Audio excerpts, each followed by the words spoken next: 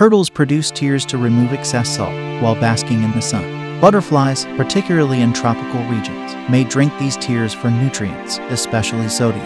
This symbiotic behavior is known as lachryphagy and limited to specific butterfly species with specialized mouthparts for accessing the tears.